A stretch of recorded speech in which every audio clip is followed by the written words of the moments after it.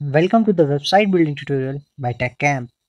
First of all, let's clear don't leave the tutorial before completing because first we will learn about the required software, then we will have a demo. And preview site are you have your website content available or you already know how to code for website. Here we will know how to make the website available worldwide without any cost through the internet.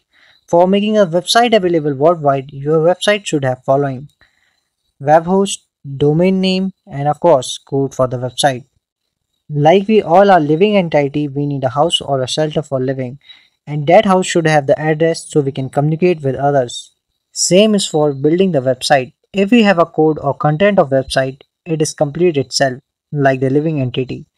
We can share this whole set of content to others to showcase our website, but it would occupy much space and time.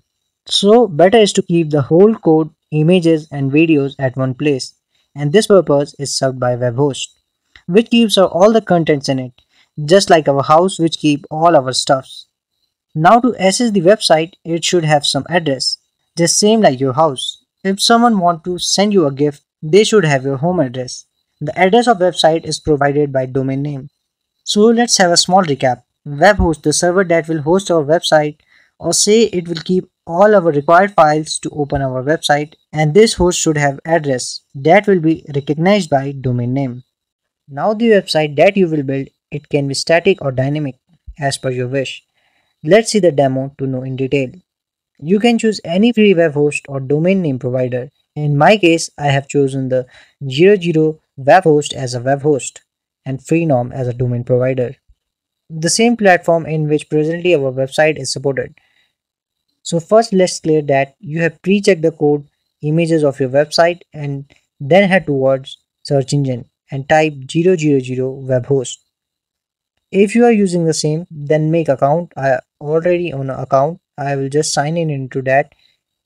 Here we can see currently there is our TechCamp website running here and here I will choose to create other one. Okay this is only providing a single website for the free setup now I will delete this one for the tutorial and we just start from the scratch. Now go to tools and go to file manager. If you have WordPress then go for it otherwise go for upload. Before uploading I want to clear that see here is our whole folder of website. We can access the website and anyone can do the same if they have the same folder. And yes make sure to put all content of website together and name your web page as index. Now upload the content and remember to upload it in the public HTML folder of web host. Don't log out in the web host and now open the other tab to search for Freenom. And here you can see the search bar and search for name you want. You can see the name I search for and these names have these page and these free domains. Just remember the game we want to do all the website work in free of cost. So make account here if you are using the same and choose a free domain name here up to 12 months and you can renew it after 12 months. Now again go to the web host and go to set web address.